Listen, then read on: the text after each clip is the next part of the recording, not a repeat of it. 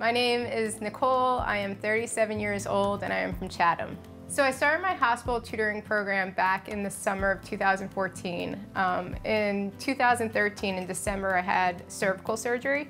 And after that surgery, I was out of school for a couple months and I was kind of losing my mind. I'm someone who needs to be up and going and can't just sit still. And one of my good friends said to me, have you looked into online education and maybe you could do some tutoring online while you're sitting home? And so as I started investigating it more and more, I saw more and more about online schools and online programs that could actually teach children. She loves education. She loves learning whatever's going to further her, she will do. So I use a couple different programs. Um, one is Google Expeditions, which is a program where once you have your laptop, you can, they have over 200 expeditions that they've put together. So say for instance, I want to take students to Ellis Island and the Statue of Liberty.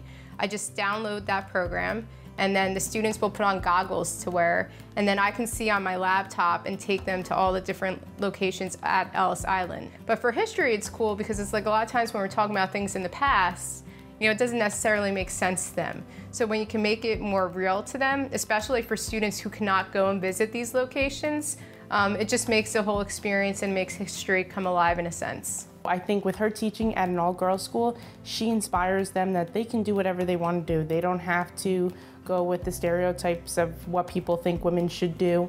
She teaches them that and their education, and she shows them that they can further themselves more than just what people think that they should do. In the last six years, I've had to have three surgeries.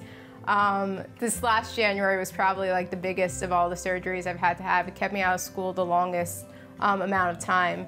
And basically I had to have brain surgery in January. I'm used to helping people, so when you actually need the help, um, that's a hard pill to swallow sometimes. She's always going to be there for that person who's in need because it's just something she just it's what she does. She'll give her time to give back to those who need it. Since we were young, we watched our grandparents, our parents, our aunts. Uh, community service was always a big thing.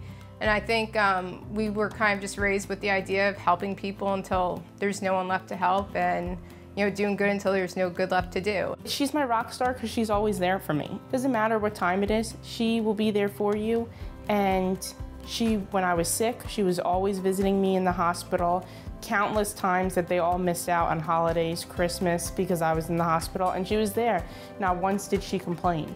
You know, it's because she did see me in the hospital and sick all the time, and I just feel like that makes her my rock star because she's giving back to those kids who were sick just like me.